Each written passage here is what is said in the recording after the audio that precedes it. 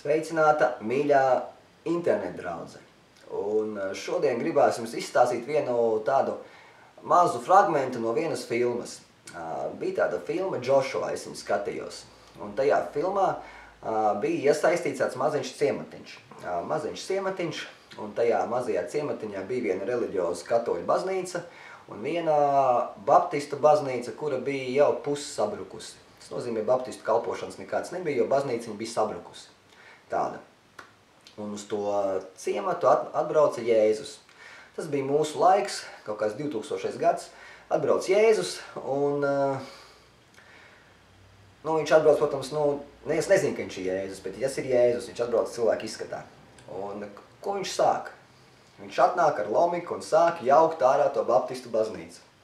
Tagad sanāk tur pusi ciemats apkārt, viņi saka, ko tu dari, tā taču ir baptistu baznīca, kāpēc tu jaud šo baptistu baznīcu? Un visi sāk Jēzu kritizēt, kāpēc viņš dara tā, kā ar kādām tiesībām viņš jauc baptistu baznīcu. Un visiem ir beigās pretenzijas.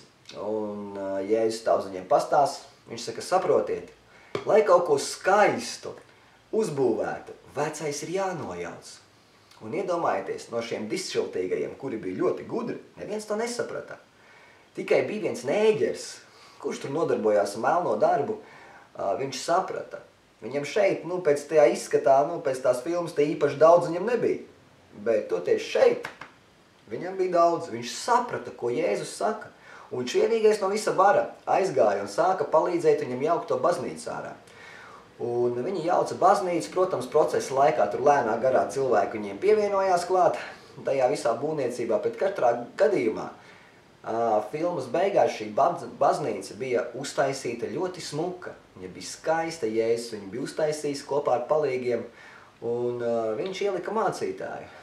Viņš neielika nevienu no šiem gudrajiem, dišciltīgajiem, bet viņš ielika vienkārši to nēģeri, kas bija nēģeris, kura, kā jau es teicu, viņam šeit īpaši daudz nebija, bet viņam bija liela sirds. Un viņš ielika viņu pa mācītāju. Un kāpēc es to stāstu?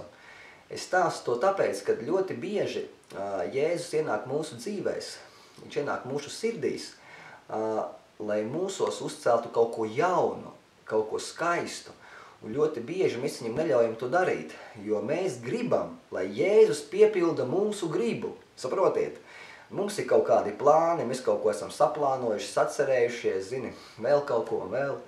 Un tad atnāk Jēzus tavā dzīvē un saka, klausies, mm -mm, es to nedarīšu. Kā tu Jēzus nedarīs, viņš nāca man palīdzēt? Jā, viņš saka, es esmu tev nācis palīdzēt, bet es tev palīdzēšu tā, kā es uzskatu, tas ir pareizi nevis tā, kā tu uzskati. Un tāpēc es gribu pateikt to, ka Jēzus nav atnācis jūsu dzīvē piepildīt jūsu gribu, bet Jēzus ir nācis jūsu dzīvē, lai jūs piepildītu viņa gribu. Saprotiet? Un viss ir ļoti vienkārši. Ja dzīve ir brīnišķīga, lai Dievs jūs svētī uz redzēšanos.